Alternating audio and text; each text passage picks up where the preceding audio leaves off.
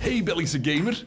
Ben jij al die ver van mijn bed internationale games beu? Dan hebben wij van Belgian Games een alternatief. Vergeet bouwspelletjes als Rollercoaster Tycoon, maar ga compleet los met de typisch Belgische variant.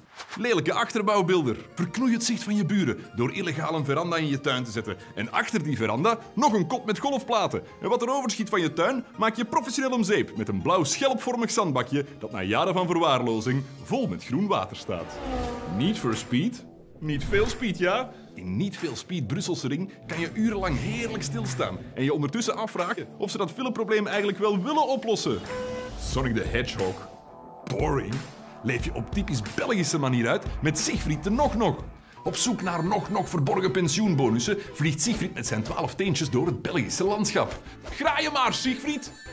Of leef je sportief uit met FIFA 23 Jupiler Pro League. Vergeet machtige voetbaltempels als Wembley of Camp Nou en speel een uitgeregende uitmatch op het patattenveld van Serrain, terwijl je in een compleet vervallen stadion wordt aangemoedigd door 12 marginalen en een paardenkop. Belgian Games. We put a sigh in exciting.